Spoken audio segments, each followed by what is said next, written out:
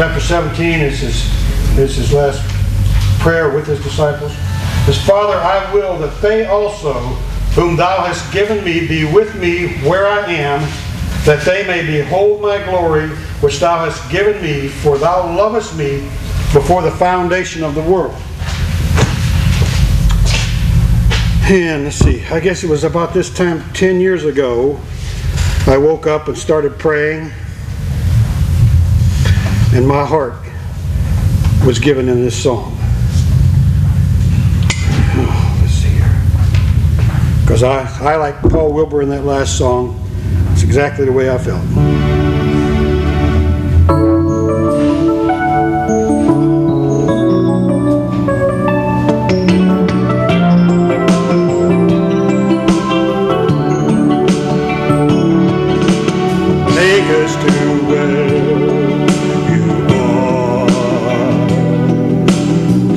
Us to where you are. Take us to where you are. Take us to where you are. Break us and form us, remake us, but take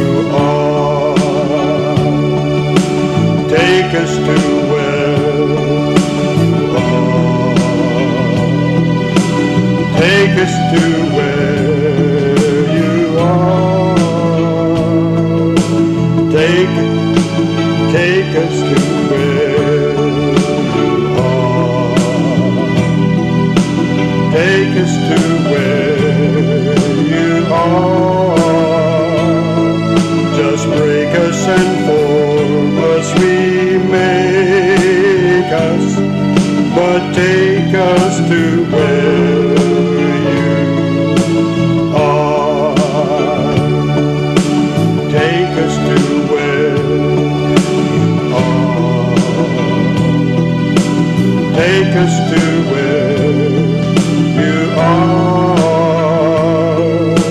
Break us and form us, remake us, but take us to where you are. Oh, Father, Abba, Father, take us to that deeper level of intimacy with you. To really know you, hear you, to really see what you see, to, to really be what you intended us to be, to be the exact replicas of Yeshua, to act out and to live our faith as ambassadors for you on this, on this earth and on into our destiny in the, your kingdom,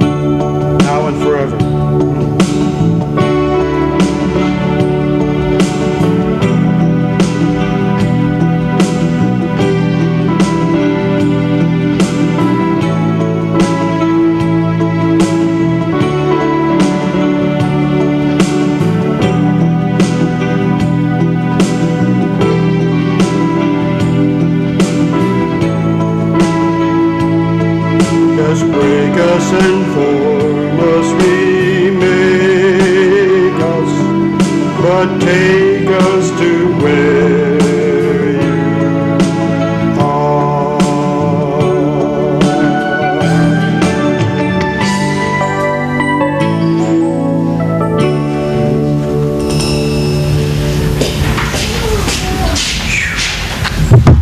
Okay.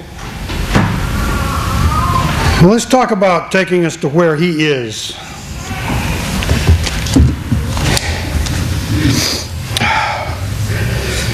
This being the eighth day of the fall feast season, I looked up the number eight The number eight is for new beginnings.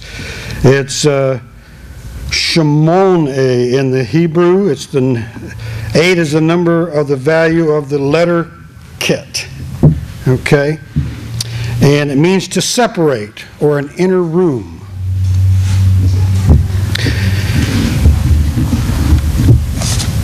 And studying this year, we've come up, in fact, a couple of months ago, I was awakened in the night, and some scriptures came to mind that just fell into place, and all of a sudden I found out it was this message.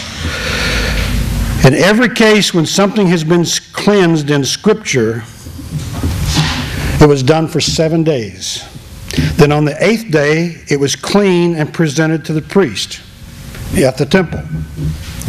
For example, the temple was built in seven years and dedicated in the eighth year, the beginning of the eighth year. Messiah, when he was born, was dedicated, dedicated on the eighth day. Circumcised on the eighth day, I mean, circumcised. The priesthood, when they are assigned, they are set apart for seven days, and on the eighth day, they're clean and pronounced clean to serve Yahweh. In fact, Leviticus 8, the whole chapter there, is Yahweh's instructions to take for Moses to take Aaron and his sons and the anointing oil and the bullock and the rams and the basket of unleavened bread and go through the whole procedure.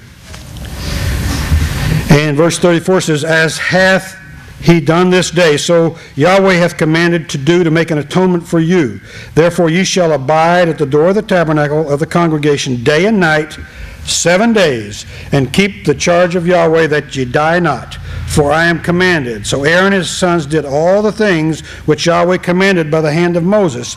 And it came to pass on the eighth day that Moses called Aaron and his sons and the elders of Israel. And they went through the whole procedure and uh, uh, did the offerings and the sprinkling of the blood and everything. And then verse 23. And Moses and Aaron went into the tabernacle of the congregation and came out and blessed the people. And the glory of Yahweh appeared unto all the people. And there came a fire out from before Yahweh and consumed upon the altar the burnt offering and the fat, which when all the people saw, they shouted and fell on their faces. A phenomenal day. In the scriptures, whenever um, a person touched a dead body, they were considered unclean. They had to wait seven days. And they mikvah, washed their bodies, you know, with the mikvah, the baptism, and cleansed themselves, presented them to the, made an offering at the temple, and they were clean on the eighth day. Those with leprosy, the same thing. Those with bodily discharges had to wait seven days. And anybody who went to the, to the, had leprosy, they would, they would make an offering and tell the priest, and they would make them wait seven days. And on the eighth day, if they showed no sign of the leprosy, they were uh, pronounced clean. Let's look at Ezekiel 43 25.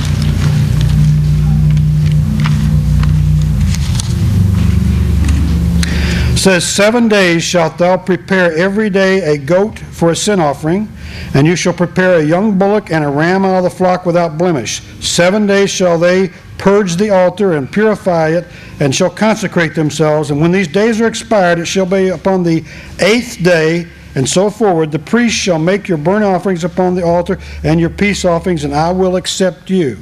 This was the cleansing of the, of the altar. They gave a peace offering on the eighth day. Feast of Tabernacles, seven days. They had uh, a set of offerings every day for the nations. And on the eighth day, it was a different set of offerings because that was the day representing the cleansing. Let's look at Revelations 21 3.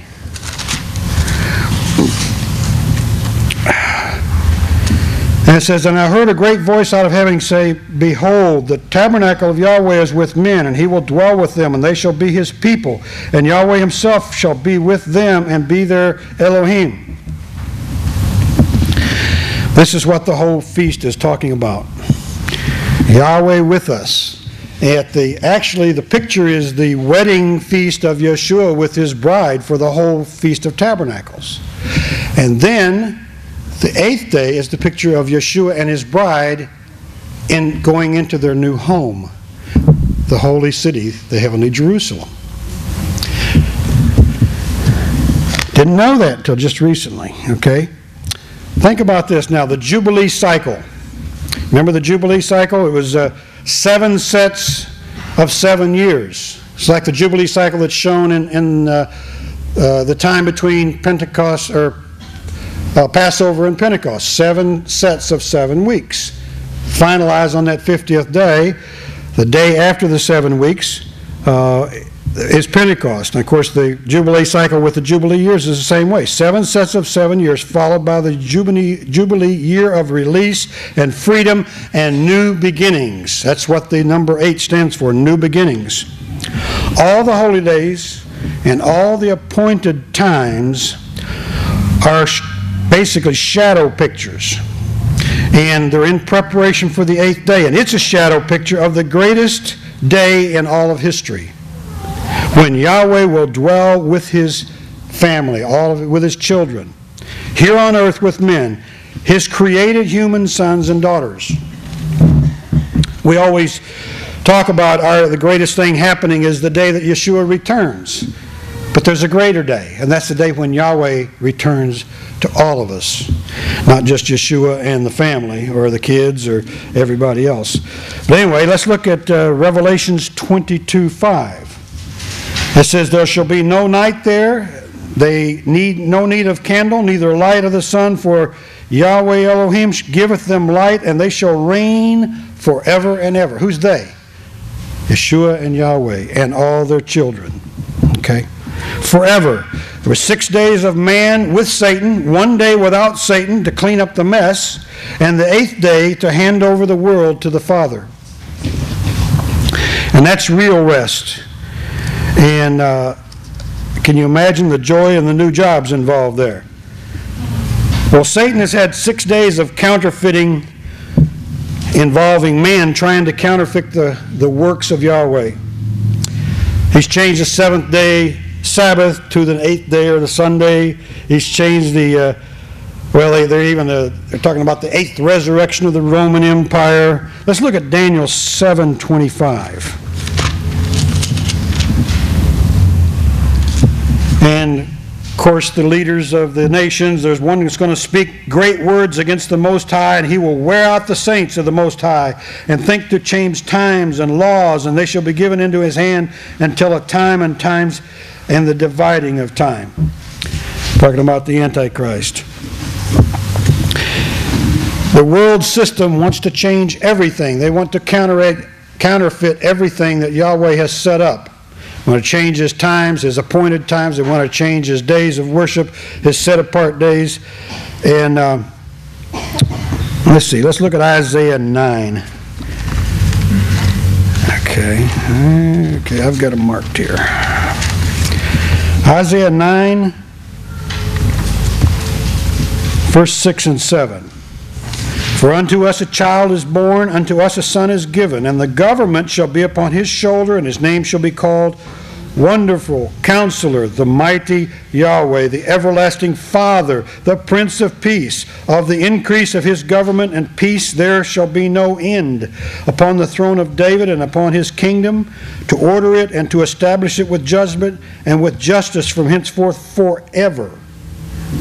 The zeal of Yahweh of hosts will perform this. And Luke 1 32 and 33.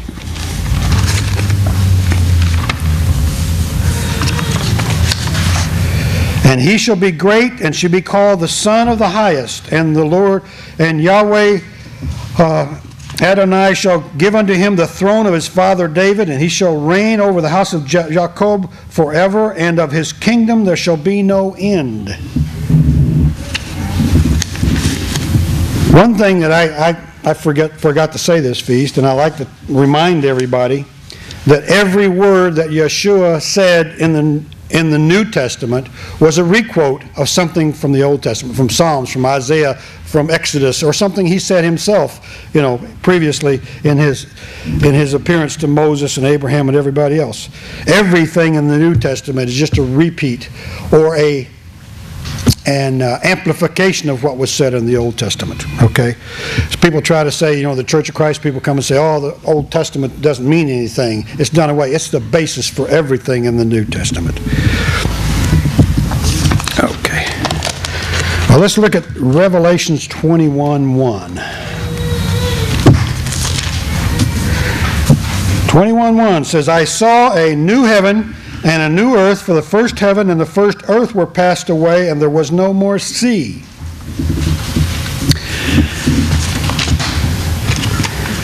Okay, so we got a new heaven and a new earth, a new set of, uh, a new beginning, a new, a new background to do everything with. Do you think that uh, any of the uh, regulations or the instructions of Yahweh are going to be done away at that time? I doubt it. Let's look at Genesis 17:10 because we need to look at that. Yeshua experienced this particular teaching, and most of us have experienced this teaching, and it's about circumcision. Genesis 17, 10 to 14 said, And this is my covenant which you shall keep between me and you and thy seed after thee. Every man child among you shall be circumcised. And ye shall circumcise the flesh of your foreskin, and it shall be a token of the covenant between me and you. He that is eight days old shall be circumcised among you, every man child in your generations. He that is born in the house or bought with money, or any stranger which is not of thy seed. He that is born in thy house, and he that is bought with money, must needs be circumcised. And my covenant shall be in your flesh for an everlasting covenant. And the uncircumcised man child, whose flesh of his foreskin is not circumcised, that soul shall be cut off from his people. He hath broken my covenant. Well, the whole scientific reason they found out that circumcision is needed is that the vitamin K levels in the newborn child is the highest after eight days. It's actually above 100%. It's more than he needs for that particular day so that the healing will take place as quick as possible. The body is prepared for cutting by the circumcision. Are you prepared for cutting?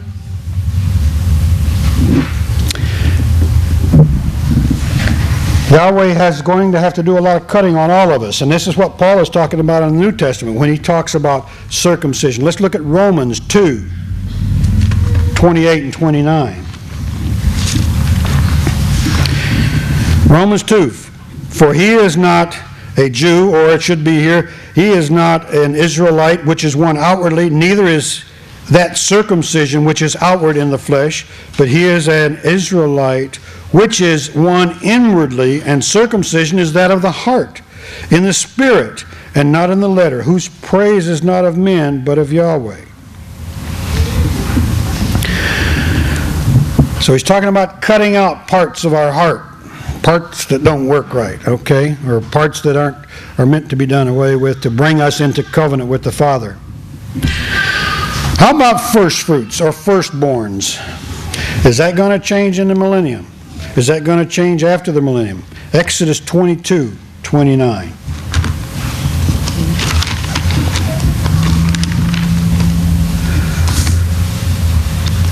Thou shalt not delay to offer the first of thy ripe fruits and of thy liquors, the firstborn of thy sons shalt thou give unto me. And let's follow that up with Leviticus 22. And I've got these marks, so you don't have to try to keep up with me. Leviticus 22, 26, and 27 says, And Yahweh said to Moses, When a bullock or a sheep or a goat is brought forth, is born, then it shall be seven days under the mother, and from the eighth day, and thenceforth it shall be accepted as an offering made by fire unto Yahweh. The mother would keep it for seven days, and then they would make it an offering on the eighth day, from the eighth day and beyond. Seven days preparation and cleaning, and the eighth day they give it to him, give it to the, to the Father. Well, purifying the altar, we read that a while ago, a little bit about that. In Ezekiel, let's look at that again. Ezekiel 43. Yeah, uh, okay, here we go. Ezekiel 43, 7 to 12. And he said unto me, Son of man, the place of my throne and the place of the soles of my feet, where I dwell in the midst of the children of Israel forever. Did you ever read that before? He said to me, The place of my throne and the place of the soles of my feet, where I will dwell in the midst of the children of Israel forever. And my holy name shall the house of Israel no more defile, neither they nor their kings nor their carcasses of the kings in high places. He's talking about that in Ezekiel. What, we talk, what were we singing about a while ago? Being in his presence, because he's going to be here with us. Eight, verse 8 In the setting of their threshold by my thresholds, and their post by my post, and the wall between me and them, they have even defiled my holy name by their abominations, what they have committed. Wherefore I have consumed them in mine anger. Now let them put away their whoredoms and their carcasses of their kings far from me. I will dwell in the midst of them forever. I will dwell in the midst of them forever. Thou son of man, show the house to the house of Israel, that they may be ashamed of their iniquities, and let them measure the pattern. And if they be ashamed of all that they have done, show them the form of the house, and the fashion thereof, and the goings out thereof, and the comings in thereof, and all the forms thereof, and all the ordinances thereof, and all the forms thereof, and all the laws thereof. Write it in their sight, that they may keep the whole form thereof, and all the ordinances thereof, and do them. This is the law of the house. Did you ever hear the law of the house? Right here, he says it. This is the law of the house. Upon the top of the mountains, the whole limit thereof, round about, shall be most holy. Behold, this is the law of the house. The law of the house. His law, his Torah, is going to be forever. It's going to be in the millennium. It's going to be after the millennium in the holy city. It's going to be throughout eternity. And during uh, this, this particular chapter of Ezekiel, he's doing the layout of the altars, what he's teaching here. In verses 25 to 27, where we read a while ago, um, talked about the seven days you prepare every day for a goat, and then on the eighth day they do they made the burnt offering, the peace offering. And with the peace office, he offering, he says, "I will accept you." And in preparing the priesthood in Leviticus 8, he goes through the rituals of, of consecration and it says, on the eighth day, they were qualified. He cleansed the temple. Uh, seven days it took to cleanse it. On the eighth day, it was clean. The Nazarite vow. Did you ever read about that in Numbers? Let's go to Numbers 6, 1 to 10. Number 6, 1 to 10. And Yahweh spoke to Moses, saying, Speak to the children of Israel and say unto them, When either a man or a woman shall separate themselves to vow a vow of a Nazarite, to separate themselves unto Yahweh, he shall separate himself from wine and strong drink, shall drink no vinegar or wine or vinegar or strong drink, neither shall he drink any liquor of grapes or eat moist grapes or dried. All the days of his separation shall he eat nothing that is made of the vine, from the kernels even to the husk. All the days of the vow of his separation there shall be no razor come upon his head until the days be fulfilled in which he separateth himself unto Yahweh. He shall be holy and shall let the locks of his hair and his head grow. All the days that he separates himself, he shall come at no dead body. He's not to touch a dead body during his Nazarite vow. He shall not make himself unclean for his father and for his mother, for his brother, or for his sister when they die, not even touch them because the consecration of his Elohim is on his head. All the days of his separation he is holy unto Yahweh. And if any man die suddenly by him, and he hath defiled the head of his consecration by accidentally touching him or whatever, he shall shave his head in the day of his cleansing. On the seventh day shall he shave it. And on the eighth day he shall bring two turtles turtle doves or two young pigeons to the priest to the door of the tabernacle of the congregation. And the priest shall offer the one for a sin offering and the other for a burnt offering, and make atonement for him, for that he sinned by touching the dead body, or had was in, polluted by the death. And he shall hallow, hallow or make holy his head that same day. And he shall consecrate unto Yahweh the days of his separation, and shall bring a lamb of the first year for a trespass offering. But the days that were before shall be lost, because his separation was defiled. And this is the law of the Nazarite. When the days of his separation are fulfilled, he shall be brought to the door of the tabernacle of the congregation, and he shall offer his offering unto Yahweh, and so forth. But anyway, I never noticed that before, that the tied to the Nazarite vow was if he accidentally touched a dead person, he had to be cleansed for seven days. And on the eighth day, he was cleansed of that. And the lepers, the same way. Lepers and, and discharges from the body. Now let's talk about another aspect here. mentioned that the eighth day represents, uh, or uh, um, Shemini Atzeret represents a new beginning, a new home, a new home for the bridegroom after the millennial wedding.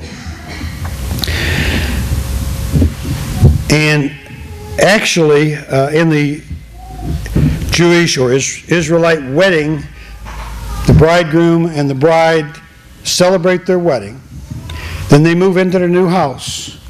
And then they spend the rest of their lives raising their family properly. Okay? Now let's look at Revelation 21 1 to 27 because this is, this is where we're at.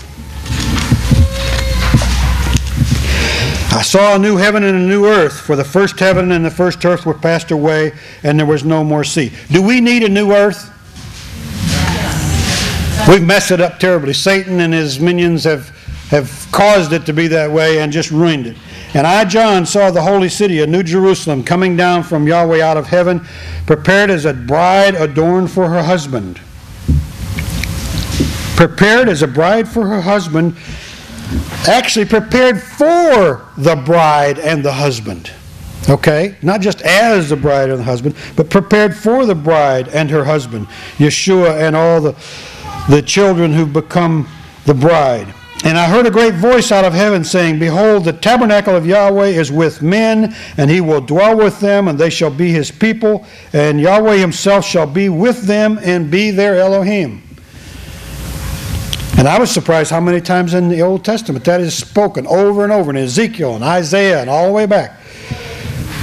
And Yahweh shall wipe away all the tears from their eyes, and there shall be no more death neither sorrow nor crying, neither shall be any more pain, for the former things are passed away. And he that sat on the throne said, Behold, I make all things new. And he said unto me, Write, for these words are true and faithful. He, and he said unto me, It is done. I am the Alpha and the Omega, the Aleph and the Tav, the beginning and the end. I will give to him that is athirst of the fountain of water freely. He that overcometh shall inherit all things all things. Wow. The entire universe? Guess what I heard this morning and I learned? In the universe, scientists now think. Oh, where have I got that written down here? Let me see. I got it written down. They think that there's more than 10,000 billion trillion stars out there with planets attached all around. 10,000 million or billion trillion stars. That's 25 zeros. Okay? And the thing about that is it's continually moving and growing. There's more being added to it all the time.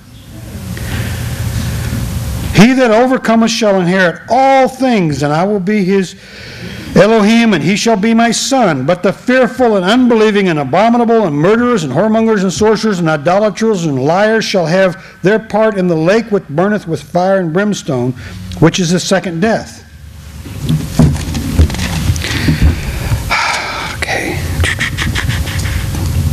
And it goes through and, and talks about the gates of the city and how large it is. And of course, the city itself is going to be unique of anything else on earth. You know, the land that was promised to Abraham, how far was it? From the Euphrates to the Nile and north and south, and everywhere that Israel stepped their foot. Now, during their journeys in uh, Saudi Arabia, in Arabia, during the 40 years, they stepped on almost every, every area of that whole peninsula, all the way down to Yemen. And their footprints are still available to see today because they marked them and they wrote them in paint or whitewash or whatever on stones all over that area.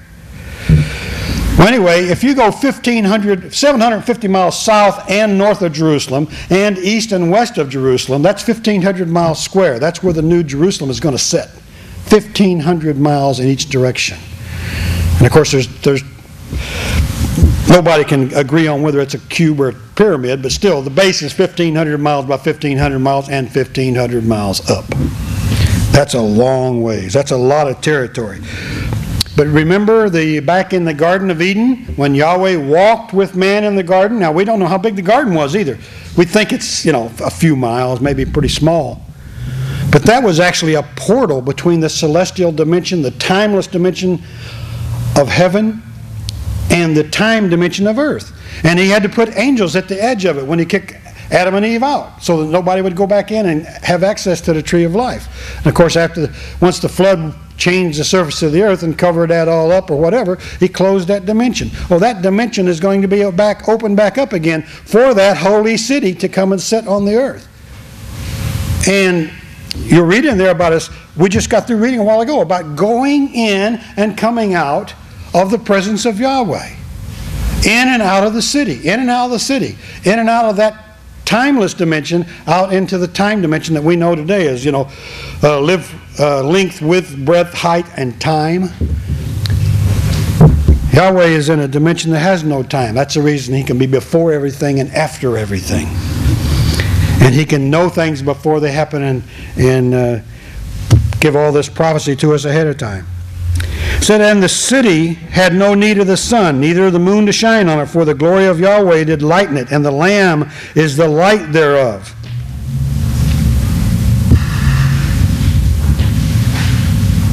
So the light of the Lamb is the same as the as the glory of Yahweh, because they're one and the same. He says they're one.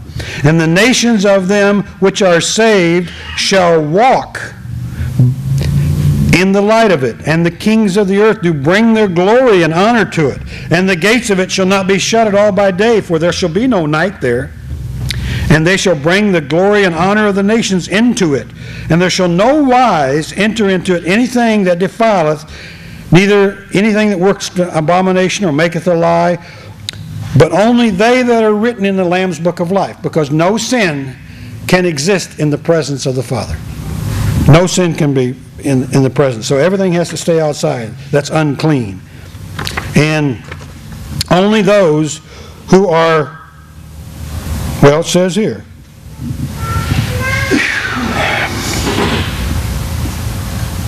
Only they which are written, written in the Lamb's book of life can walk into that city and be a part of that and be in the presence of the Father. When you're at home, who do you like to have around you?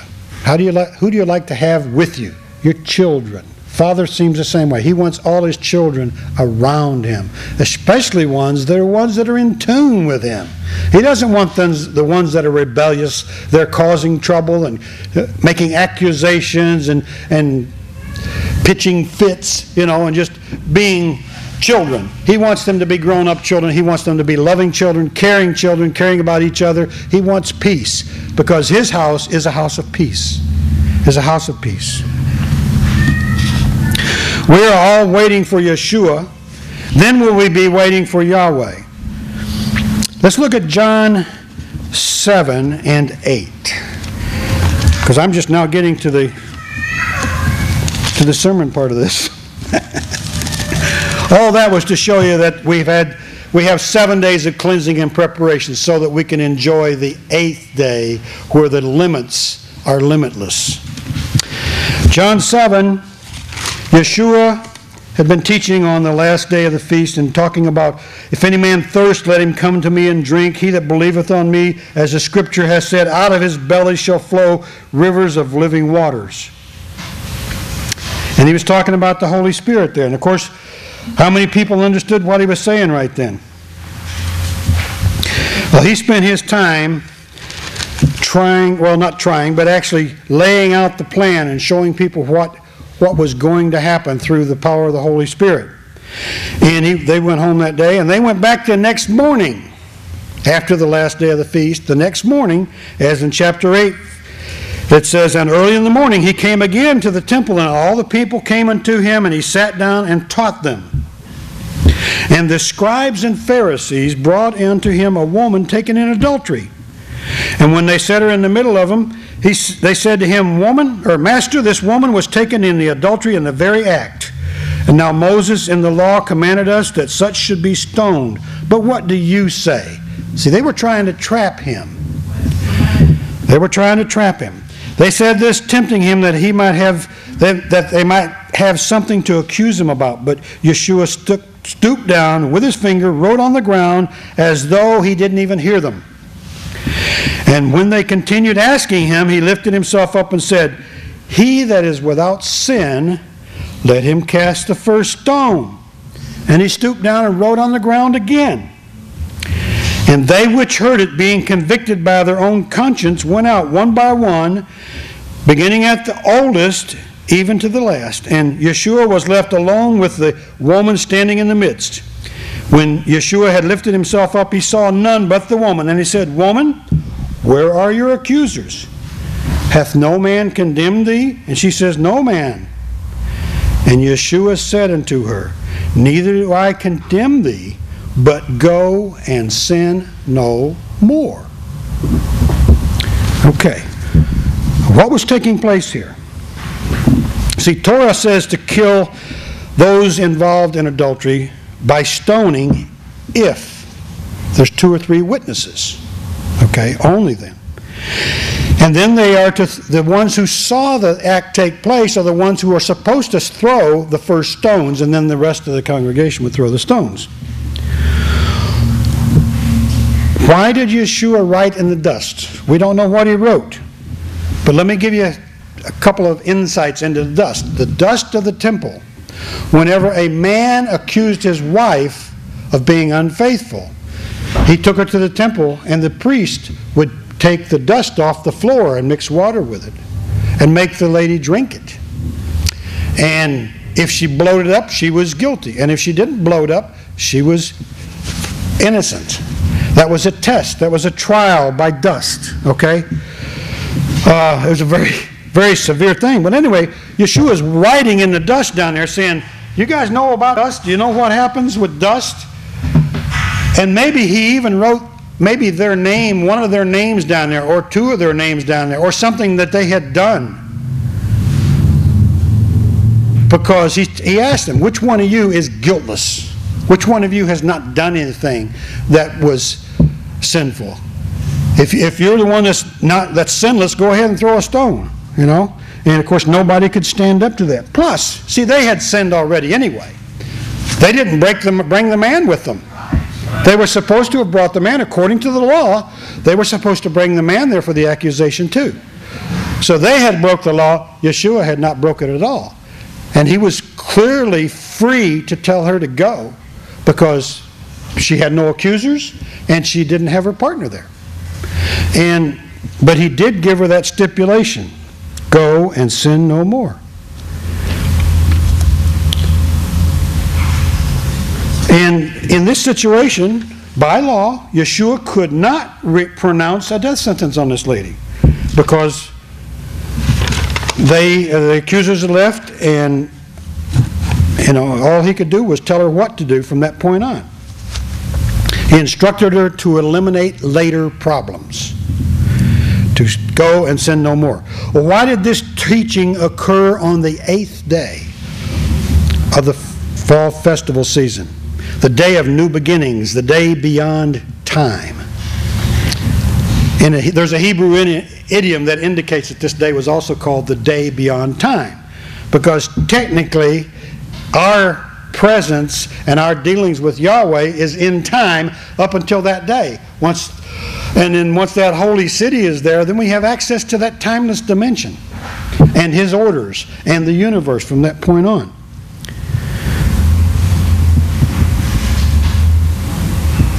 The eighth day is a day of a fresh start, a fresh start in a sinless state. We've lived through the seven days and the, uh, actually 7,000 years in our case, waiting for the cleansing and the sacrifice. We've gone through cleansing. We've been brought through our understand, given the understanding of what sin is. We've learned the Torah.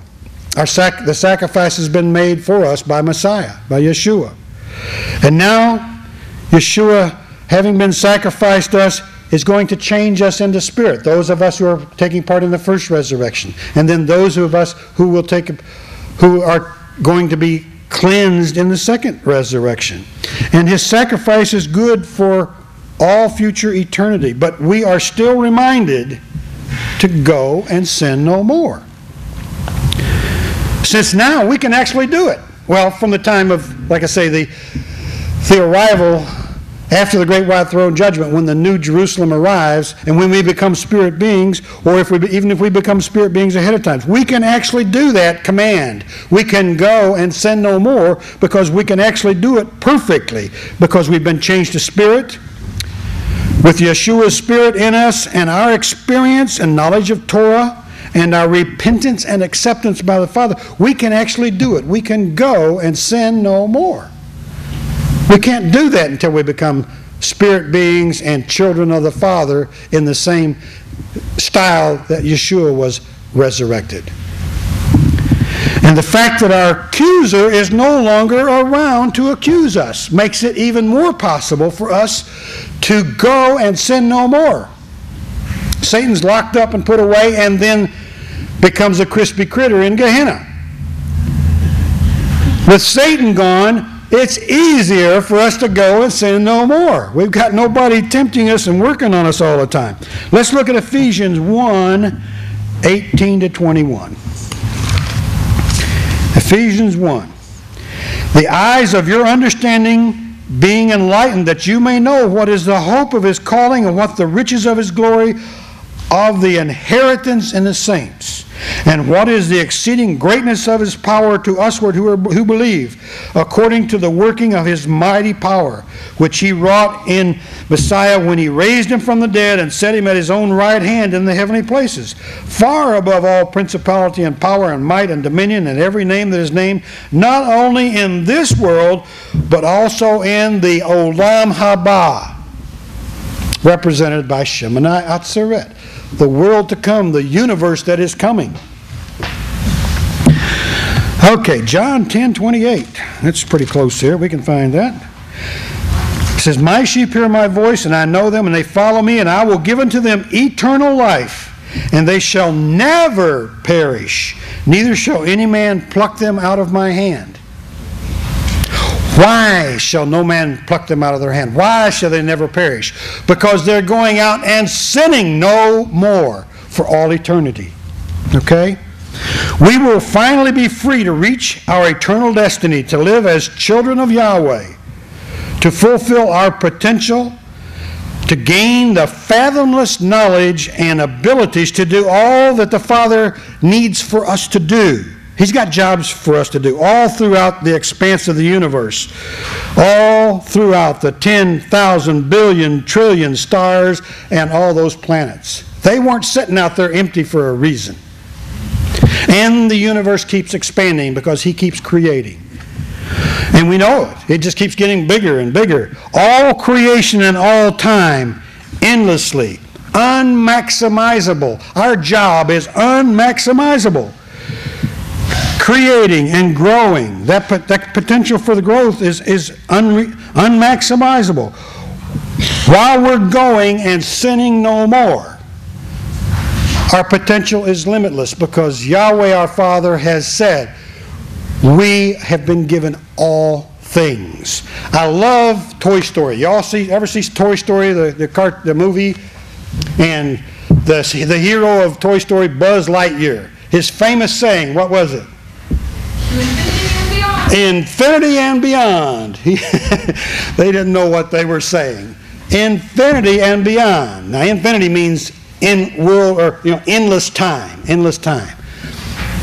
But see, Yahweh says we can do more than that because we can go beyond time, throughout time, into His time, timeless dimension, go anywhere and everywhere He wants us to go, do everything and anything He wants us to do because we go and sin no more. Okay. So brethren, I hope you've uh, enjoyed this, and I've been fascinating putting this together, and love being here with you guys. Like I say, you're you're like my family. We can't, when we finally uh, saw that the only feast site listed in the whole internet on the right day was this one, I said, praise y'all, we're going there. I don't know how, how so many people can get so mixed up. If y'all, if, if Jerusalem is our home and the center of the universe and the center of all our teaching and the law is going to come up from Jerusalem, how can you count your sighting of the moon from Arizona or Hawaii or Australia? We're supposed to be getting orders from headquarters. That's the reason we're here. We're here to obey Yahweh, to practice observing His feasts, to practice going and sinning no more, so that we can eventually get to that spot when Yeshua returns, that we can have the ability to go and sin no more.